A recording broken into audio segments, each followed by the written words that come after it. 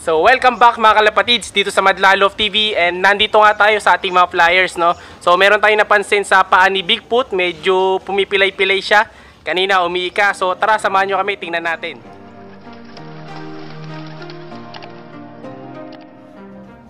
So, ayun nga mga kalapatids, kung mapapansin nyo, si Bigfoot isang paalay nakatapak sa hapunan niya, unlike dito sa kabila, ayun, dalawa.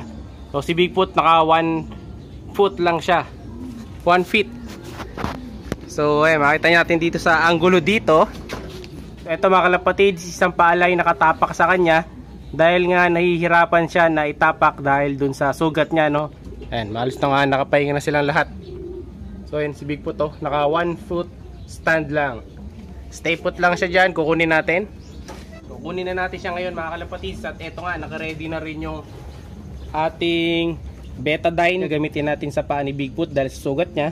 So, kunin na natin siya. So, ayan siya mga kalapatids, kukunin na natin. Ayan oh, medyo awkward yung pag-upo niya eh oh. Ayaw niya talagang itapak dun sa kabila, ayan oh. Isang paa lang.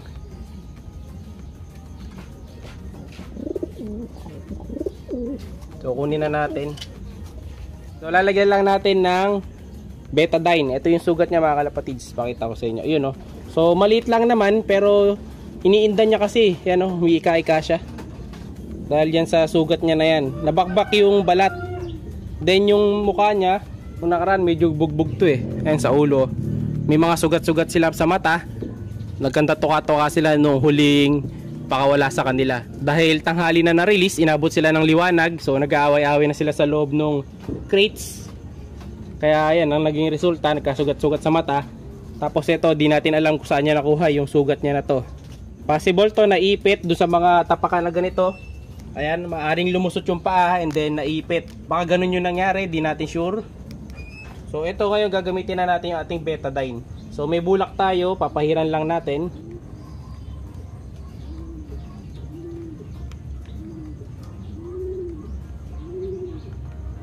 Ayan, ito na yung ating betadine. Tapos ito yung ating bulak, no? So, papahiran na natin to. Ayan, so bagya-bagyang pahid lang yung gagawin natin.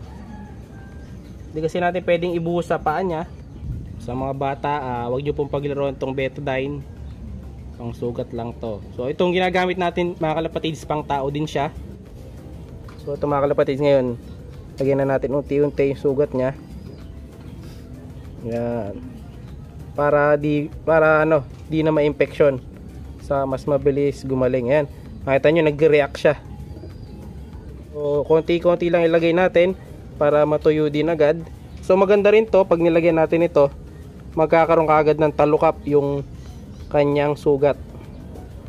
Mas mapapabilis yung paggaling. Ayan. So hayaan lang natin dyan. Hipan-hipan natin ng konti.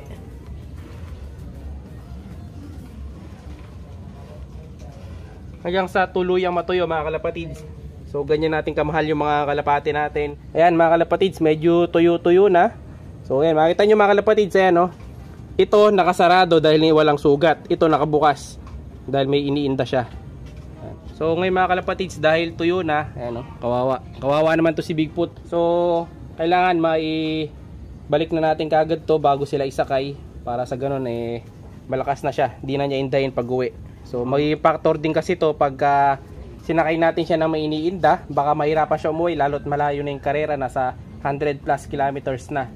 So ito nasa kondisyon si Bigfoot eh, makikita nyo namumuti yung dulo niyang mga bagwis oh. Ayan. Senyales, pag ginawa natin yan, yan, oh. yan yung kumakapit sa mga palad natin, sa mga kamay yan. Yung maputi na yan, yung parang pulbos na senyales na ibig sabihin nasa kondisyon yung kalapati natin. Then sa katawan eh, makita nyo nun, bilog na bilog. Tabang mataba si Bigfoot. So pabalik na natin siya. Tapos papakita ko naman sa inyo yung sugat ng iba pa nating mga kalapate. So dahan-dahan lang mga kalapatids dahil nga nilagyan natin siya ng betadine. So itatapak na natin siya dyan. Ayan o. Oh. Ayan, umiiga siya mga kalapatids. Ayan. Umiika-ika. So medyo madilim, so buksan natin yung ilaw. So ayun mga kalapatids, nakabukas yung ilaw natin dahil medyo madilim na nga dito sa loob. Ayan yung iba pa natin mga kalapate. So lalabas natin, papakita ko sa inyo yung may mga sugat sa mata. Ito, si Hapon mga kalapatids, maraming sugat to sa mata eh. Na bunga nga nung pagkakagulpi sa kanya. So, ito nga mga kalapatids, si Hapon. Ayan. Makita nyo, patubo pa rin yung mga buntot niya. Ayan, sa gitna. Ay, ito yung lumilipad mga kalapatids na kulang yung buntot sa gitna. Ayan, papatubo pa lang. Oh. Makita nyo, bagong bago. So, di pa nagpapantay. Siguro mga one week, pantay na to. Ito nga mga kalapatids, sa gawin na to. Ayan, makita nyo, may mga sugat-sugat sila. Ayan, oh, sa bandang itaas, nagkaroon ng coating sugat.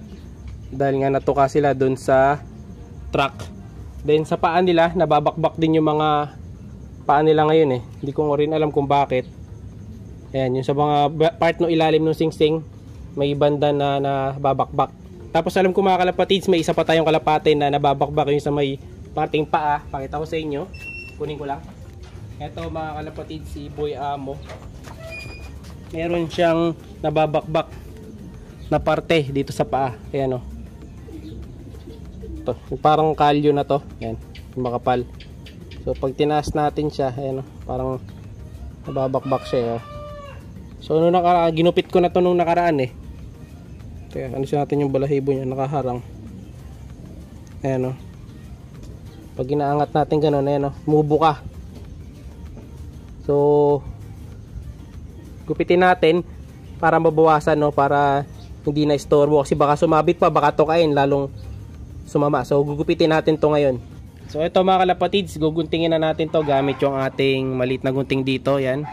So, gugupitin na natin yung paa, este yung pasobrang balat dito, yan, yung parang kalyo.